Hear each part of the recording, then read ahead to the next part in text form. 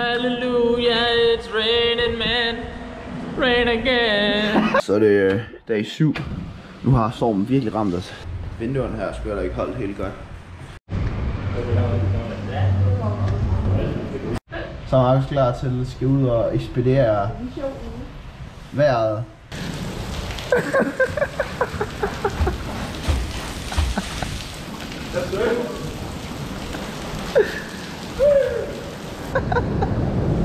Så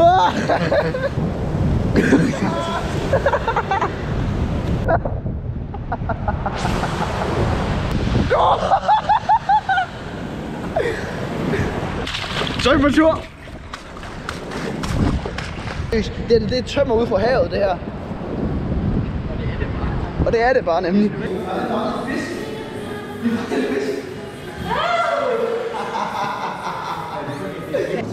Hej bloggen. Jeg er nede og styrketræne. Jeg er færdig, men øh, alle de unge løver, de øh, er i gang her. Mm. Hele.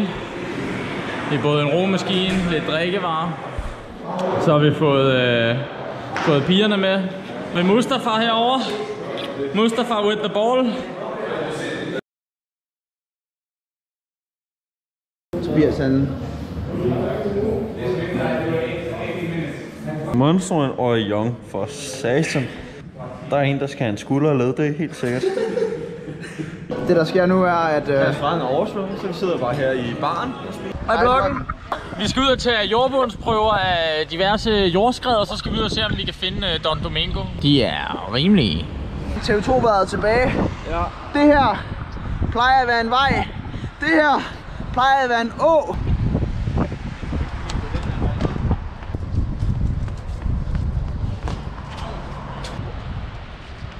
Vi er på jagt efter nogle meget farlige ender. Ah, den kan angriber! Velkommen til Vild med Dyr. Her ser vi øh, dyrepasser ude at fodre gæsten. Nu giver den gennem smarte. Den er kørt ned igennem regnen og sådan gået i stå, jo.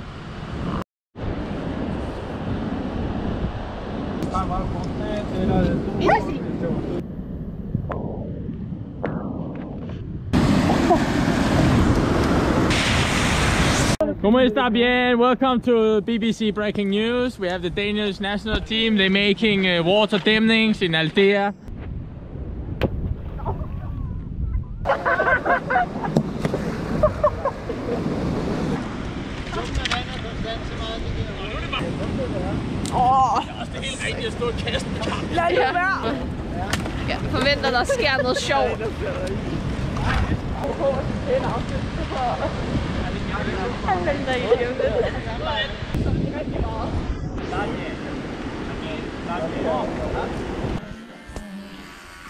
Argos. Don't need to ask why.